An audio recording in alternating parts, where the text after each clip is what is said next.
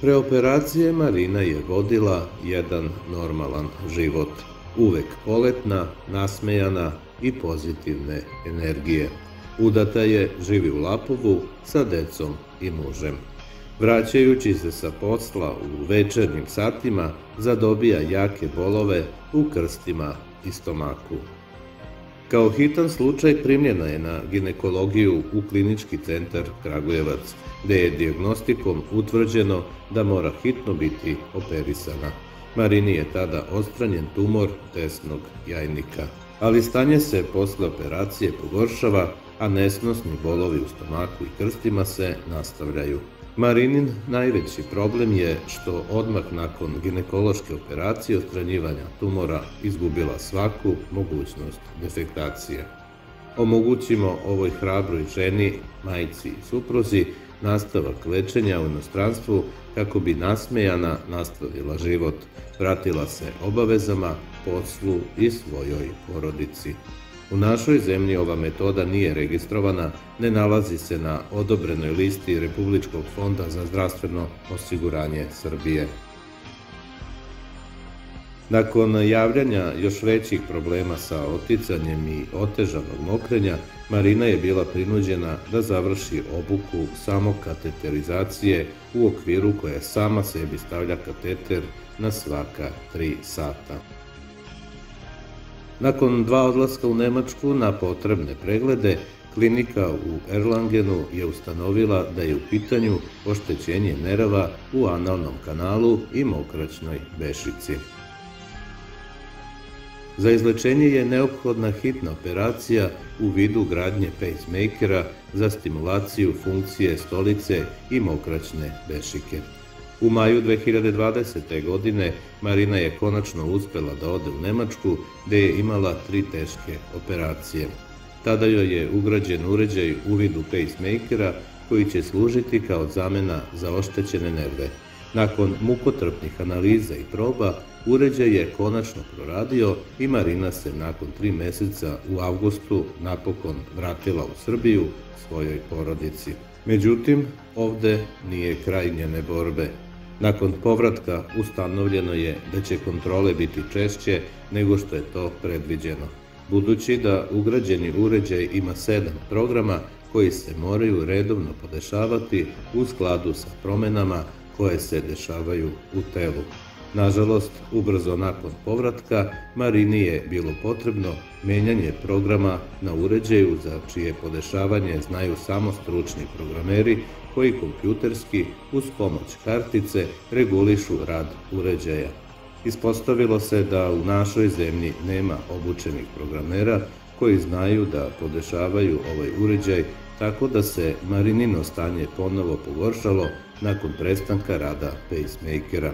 Stalno i mučno klistiranje, otoci i primanje inekcija lasiksa za izbacivanje vode ponovo su postali svakodnevnica za Marinu. Kako bi rešila problem, Marina je prinuđena da završi obuku za programiranje uređaja, a isto tako je neophodna i hitna kontrola u Nemačkoj kako bi se uređaj ponovo osposobio.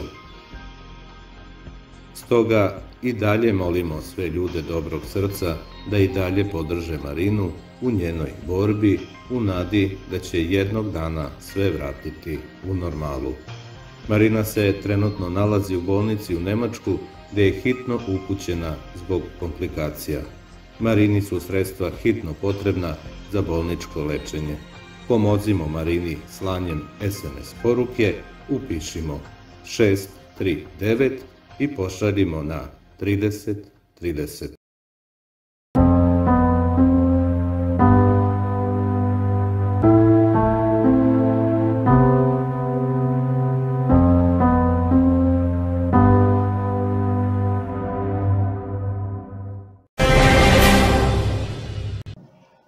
Ekipa Humane TV Plus bila je prisutna na humanitarnoj akciji za Žarka Nikolića iz sela Studenac kod Žitoređe, koju je organizovala Zajednica veterana Srbije, Zavet.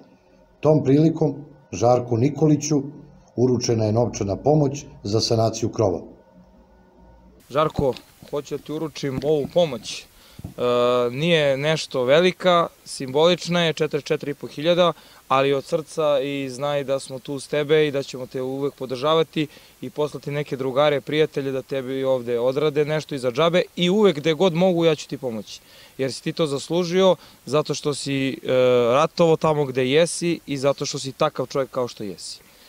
Hvala ti na svemu, izvoli. Hvala, hvala vam, brat moj. Mi živi, zdravi, ništa lepše nego lepa reč.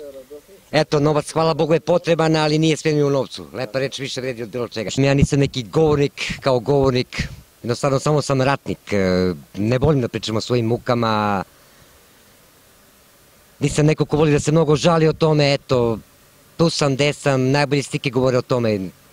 Jednostavno ne mogu pričati ništa, to je to. Hvala samo moje braće, mogu reći, koji se pomažu i uvek pomažu i uvek dobrodošli i, i hvala Bogu, uvek se odazvali. To sam ja jednostavno, nisam neki govornik, šta reći. Dobro, ovde su ljudi došli iz zajednice veterana Srbije, ovaj, posetili su i skupili su neki određenu sumu novca da bi uradio krov. Naravno, naravno moja braća uvek, uvek dobrodošla, uvek su tu uz mene koji su mi dali snagu i krila da letim dalje, da se borim u životu. Znači, uvek mi dobrodošli i uvek ćemo da idemo dalje. Ne samo kod mene stati, i ti imamo mnogo boraca koji, koji treba pomoć. Znači, zdravlje od Boga, završavamo ovo, idemo dalje, da se borimo. Naravno. A reci nam, ovaj, struje nema, vode nema i tu treba pomoć. Da, da, trebalo bi, eto, struje isključena već davno za neki mali, mali, mali trošak, ono, neki 14.000. Sa nama je Marko Martinović, predsjednik zajednice veterana Srbije i jedan od pokretača ove humanitarne akcije. E, pomaže Bog braći i sestre, ovaj, po, pomaže Bog vama iz televizije i hvala što opet nam izlazite u susret i dolazite kod nas gde vas mi pozovemo, tačnije gde treba pomoć i da se to čuje u celoj Srbiji. E, ja bih samo malo ispravio, nisam ja pokretač, e, ja sam samo čuo za Žarkov problem. E, Žarko je bio kod nas na osnivačkoj skupštini, tako sam i saznao za taj problem. Uh, ideja je, ja sam, možda smo mi osnovani 10.10.2021. Evo danas je 23.10. Ja mislim da smo, što se kaže, ekspresno reagovali. Ovaj, uh, napravili smo donatorsko veče u Skadarli. Moram da se zahvalim uh, ovaj, vlasniku kafane Zadruga koji je izašao u susret i donirao celo veče besplatno ovaj, od pića muzike i naravno stavio i nešto i u kutiju. Ovaj, e, da se zahvalim uh, Đoricu Ćurčiću iz uh, ovaj, Norveške koji je isto donirao preko određenih ljudi, ovaj, kao i svim uh, ljudima koji su bili taj dan na, tom donator, na toj donatorskoj večeri i imali smo, imam ja sad tu čast da ja baš Žarku borcu sa Kosmeta ovaj, uručim, to jest borcu na Kosmetu uručim ovu ja kažem, malu pomoć, ali je početna pomoć, ali je sigurno od srca. Tako da, e, inače, morao bih još da kažem, e, on, on, e, od 10. 10. smo mi porodici Kujović uručili garderobu i neke dresove osmočlanoj porodici sa Merdara, posljednja kuća na Merdaru, uh, uručili smo neku humanitarnu pomoć vezano za porodi, za uh, ovaj uh, dresove i, ne, i pošto su deca navijači određenog njihovog kluba i oni su vole da imaju te dresove, to smo uručili ovaj, i naravno garderobu, to je osmočlana porodica sa četvoro dece. To je posljednja porodica na Merdaru i ja kažem rat je prestao, a borba za njih nije zato i hoću i zato sam i danas ovde i hoću da kažem da smo i u Opovu uručili e, e, porodici palog borca ove knjige e, za školu, nažalost dete, jedno od dece je ovaj, autistično i zato smo prepoznali da je on malo urgentni problem i rešili smo to kako od, zbog naših uh, humanitarnih uh, stvari čime se bavimo i naših humanih ljudi koji su to podržali. I ovaj, zato smo danas i kod našeg, ja kažem, brata Žarka, ovaj, da pomognemo koliko možemo, ovo je samo početak, koliko smo mogli brzinski da rešimo, zato što će sad zima, pa da pomognemo što možemo brže. A ja mu garantujem da ovo je samo početak, da ćemo nastaviti ovako da, da radimo i sarađujemo. Dobro, ovaj Marko, zajednica veterana je tu, zajednica veterana Srbije je tu da pomogne, što kaže, svim tim veteranima i učesnicima ratova. A, mnogo ih problema, mnogo je ljudi koji traže pomoć. Kako vi sve to organizujete, kako sve to stižete da odradite? Upravo tako, e, e, Žarko je jedan od e, urgentnih ljudi, ali ja imam još jedno desetak ljudi koji su se javili, koji su slično kao Žarko, kroz celu Srbiju ja pričam, i napravili smo neki ovaj prioritet i evo sad u narednih mesec, mesec i po dana ćemo nastaviti da pomažemo svim ljudima ovaj koje smo mi stavili kao prioritete kao što je ovaj Žarko koji je mislim u 20, 21. veku da živi čovjek bez vode, kupatila, struje, to je stvarno a krvario i borio se za ovu državu, to je ja mislim nezamislivo. Tako da smo zato i došli kao prvog gde sam ja prisustuo, inače na Merdaram je naš e, član izvršnog odbora Andrija Lukić prisustuo i on je dodelio.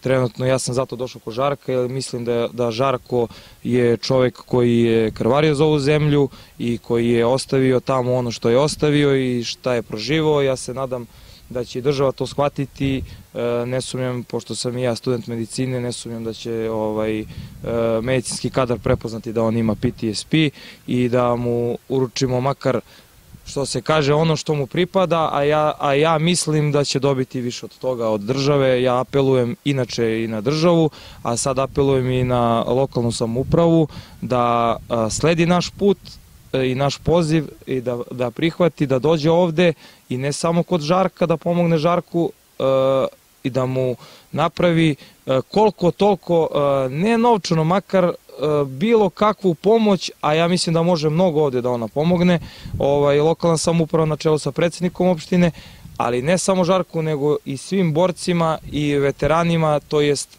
ratnim vojnim invalidima i, i palim, porodicim palim borcama da pomogne i da ovaj malo izađu susret malo na terenu, pošto postoje službe koje se bave time, ovaj i ja mislim da će oni to uraditi, ne sumnjam u to, tako da eto. Ovaj to je moj poziv za njih. Ja sam zato došao ovde i mislim da ovaj Žarko to zaslužuje i ne samo Žarko, opet ponavljam, nego svi e, borci i ratni vojni invalidi e, ovaj opštine Žitoraće.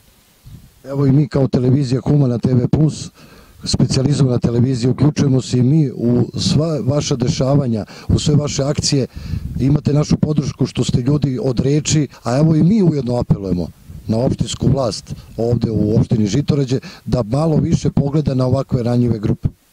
Upravo tako, hvala vama još jedan put e, i uvek ću se zahvaliti kada god dođete kod, e, sa nama, a vi ste jedna od redkih televizija koja e, prati ceo naš rad, većinom je to humani rad, Ovaj, I eto, sve ste rekli, ja bih još dodao e, da znaju svi, e, kao što su se oni borili za moju porodicu, e, ja se tako sad borim za njihova prava i njihov egzistencijalni život.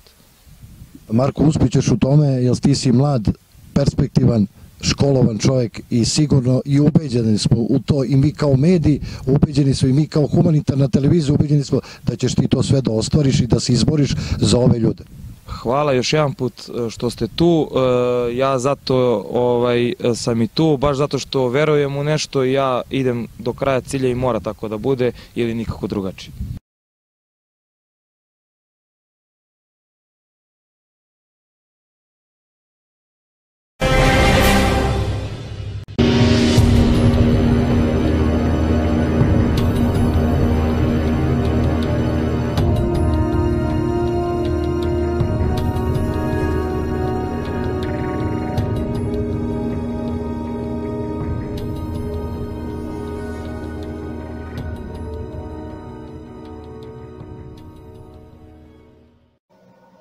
Ponovo više od 300 novozaraženih u Šumadiji, najviše u Kragujevcu.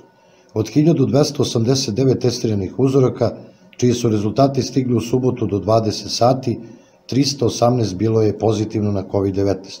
U pitanju su 222 osobe iz Kragujevca, 44 iz Aranđelovca, 21 iz Topole, 4 iz Rače, 16 iz Knića, 11 iz Batočine i 10 osobe iz Lapova – navodi se u izveštaju Instituta za javno zdravlje u Kragujevcu. Dogodilo se na današnji dan. Na današnji dan 1987. godine rođen je Aleksandar Radojičić, srpski glumac. Dogodilo se na današnji dan. Na današnji dan 1945. godine osnovana je organizacija Ujedinjenih nacija. Predsednik Srbije Aleksandar Vučić razgovarao je sa srpskim članom predsedništva Bosne i Hercegovine Miloradom Dodikom o političkoj situaciji u Bosni i Hercegovini.